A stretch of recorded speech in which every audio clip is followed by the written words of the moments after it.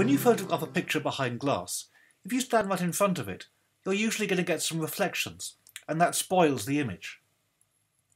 A better solution is to stand to the side so you're not reflected in the glass. But then how do you square this up? The answer is to use the perspective crop tool.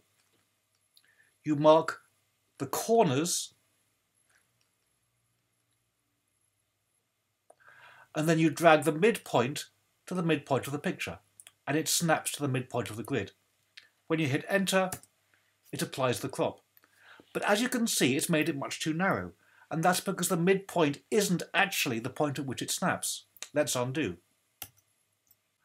We'll switch to the Shapes tool and choose the Line tool option.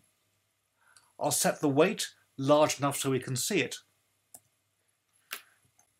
and make sure the tool is set to draw shapes rather than paths or pixels. And now draw from corner to corner inside the mount in this picture.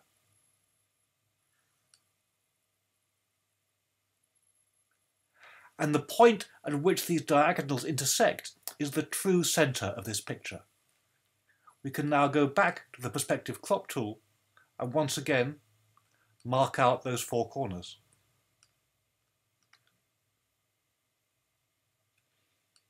When we drag the midpoint marker, rather than taking it to the point it snaps to, now drag it along to the true intersection of those diagonals. Hit the Enter key to apply the perspective crop, and that's a much better crop. We can hide those diagonals, and there's our picture squared up for us.